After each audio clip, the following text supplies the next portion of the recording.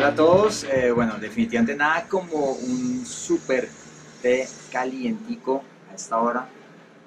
Está haciendo un poco de frío y bueno, eh, muchas veces me preguntan si para mí fue muy complicado controlar el peso, porque a algunas personas se les hace difícil controlar el peso y encontré que había cinco leyes, cinco reglas que yo no debía romper para que fuera un poco más fluido este tema de controlar el peso.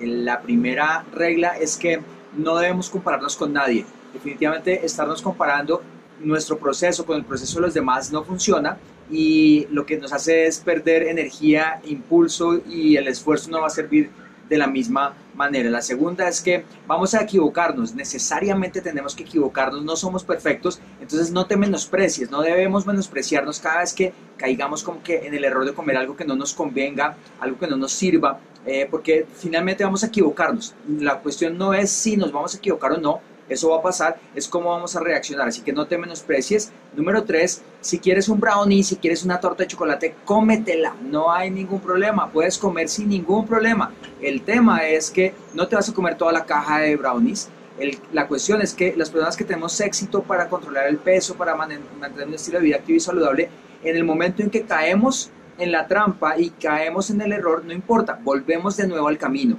Entonces no conviertas un error para toda la vida. Haz lo que sea una vez y ya, y disfrútalo.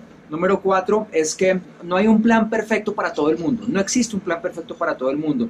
Y eso es importantísimo. Muchas veces personas querrán meterte en el molde de ellas, en el plan que les funciona a ellas, pero no funciona así.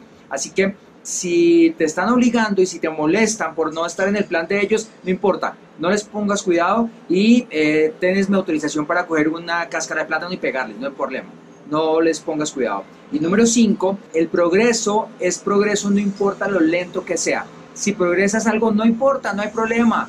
Así sea lento, vas por buen camino y es un buen progreso. Así que estas son las cinco reglas que no debes romper por nada del mundo. Estas reglas te van a ayudar a tener excelentes resultados. Nos vemos luego. Chao, chao.